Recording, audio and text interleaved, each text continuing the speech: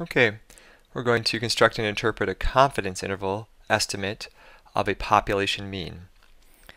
Um, the sample mean is actually the best point estimate or single value estimate of the population mean. But we're going to create a confidence interval which is uses some sample data to construct and interpret a confidence interval um, estimate of the true value of a population mean. Okay, so here's an example. Here are summary statistics from a randomly selected weights of newborn girls. N is 229. The mean of the sample was 28.7. The standard deviation of the sample was 6.9. And construct a confidence interval estimate of the mean using 98% confidence level. Are the results very different from the confidence interval 27.4 to 30.4 with only 19 sample values and this as a mean and this as a standard deviation? Okay. Well, there's two requirements we also check right away. Basically, we need to know if it's normal. It has to be normal. Okay. And we're looking, um, I'm not seeing any information that it's normal. Okay. But they're giving us the mean and the standard deviation. Okay, so there's two things we have to check here. We got to make sure it's normal or that the uh, number of items in the sample are greater than 30. So here, as we're looking, I don't see anything said about normal, but I do see my n is 229. So that's well above 30. So we're passing this test of normality, and we need to go to the next one. Now this determines the test we're going to do. We either do a z-test or a t-test. A lot of times you don't know the sample, or the, excuse me, the population standard deviation. So you're using a t-test. The few times that you do know the standard deviation of the population, you use a z-test. So here I see no population standard deviation, which is more common. So we'll be using a t-test on this. Okay.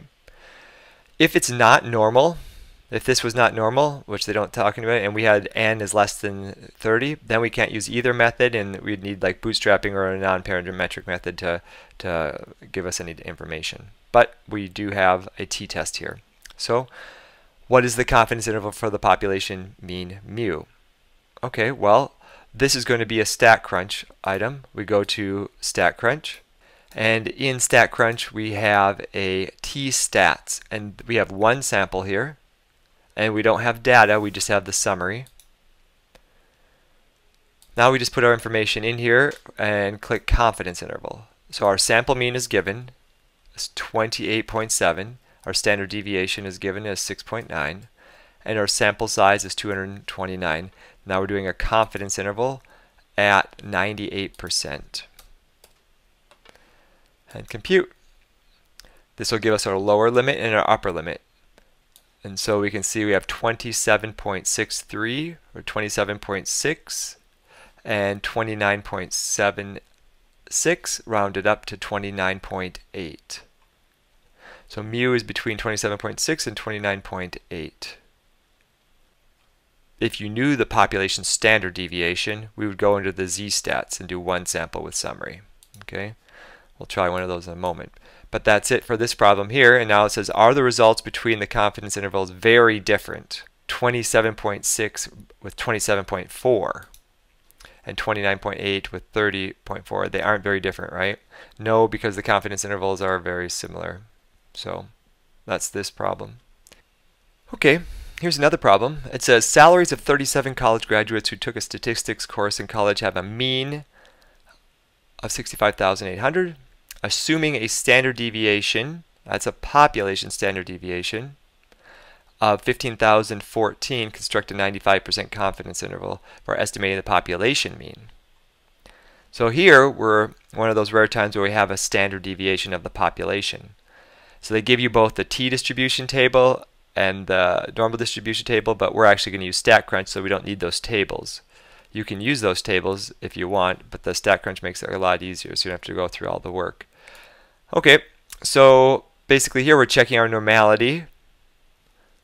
Nope, it doesn't say that, right? But it does have n greater than 30, so 37.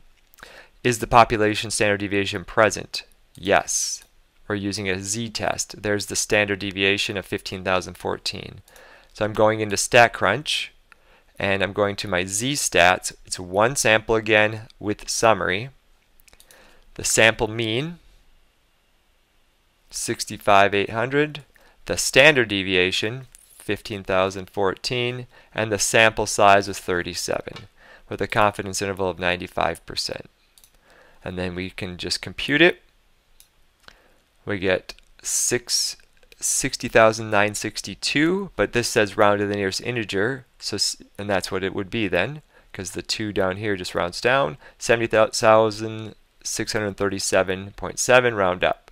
70,638. So the mean would be between these two monetary values. Okay, so it's important to check your normality first. And that's important. It has to be normal or above 30. And then you want to check to see if the population standard deviation is present, which is not a normal thing. It doesn't happen a lot. We usually have to use the t-test. And then if neither of them are normal, or excuse me, if, if it's not normal or less than and n is less than 30, then you're going to have to use a different method, which comes later. Okay? Have any questions? Let me know.